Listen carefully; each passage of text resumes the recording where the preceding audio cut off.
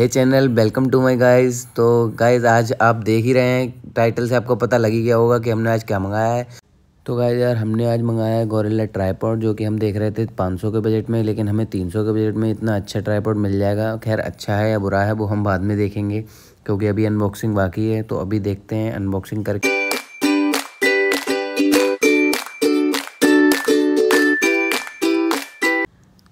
तो गाय इसको अनबॉक्सिंग तो हमने कर ही दी है। अब देखते हैं आगे कैसी इसकी क्वालिटी है, कैसा इसका कलर है। कलर तो मेरे हिसाब से अच्छा लग रहा है और इसको आप कहीं से मोड़ सकते हैं, कहीं भी लटका सकते हैं और इस, जैसा कि आप क्वालिटी देख सकते हैं लास्ट में एक क्लिप डाल दूँगा इसके पास से इसका ओवरव्यू देने के लिए और इसे आप वन वन एट्टी डिग्री तक मोड़ भी सकते हैं किधर को भी और इधर साइड में रखा है रिमोट उससे हम वीडियो को रिज्यूम और प्ले कर सकते हैं। फ़ोटो भी इससे क्लिक कर सकते हैं। इसमें एक सेल होता है। ये ब्लूटूथ से कनेक्ट कर सकते हैं।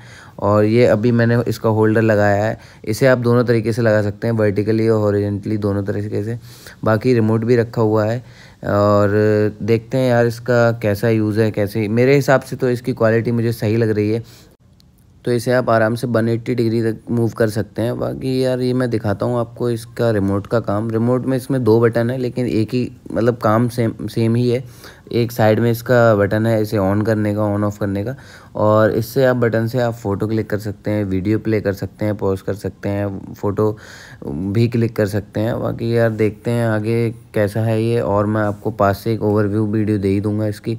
और देखते हैं अब देख, देखिए ये मैंने वीडियो प्ले की, ये वीडियो प्ले हो गई।